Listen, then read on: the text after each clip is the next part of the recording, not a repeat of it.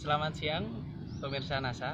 Eh, semangat pagi. Perkenalkan nama saya Yusnias Fibrian, distributor PT Natural Nusantara atau NASA.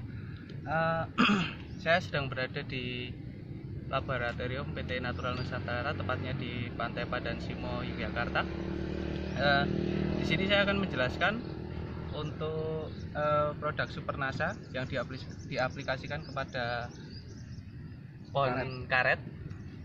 Nah, eh, di sini kita lihat pohon karet ini ditanam di eh, ring satu pasir pantai, benar-benar di pasir. Hanya ditambah eh, supernasa, pupuk supernasa ini. Di sini kita lihat untuk tanamannya itu dari batang sangat bagus, tidak ada cacat.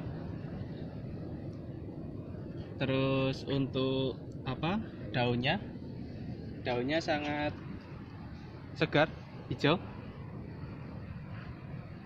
Bisa dilihat.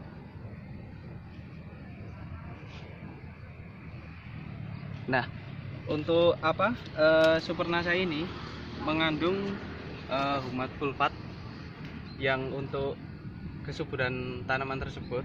Ini eh, penyesuaian tanaman ini sangat bagus. Baru ditanam eh, beberapa minggu eh, di lahan pasir.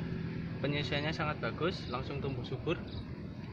Eh, untuk produk ini bisa dipesan eh, melalui nomor di bawah ini. Silahkan.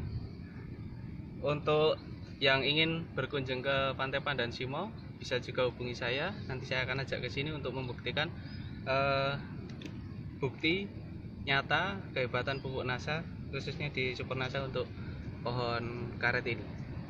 Eh, demikian informasi dari kami Eh, selamat siang salam NASA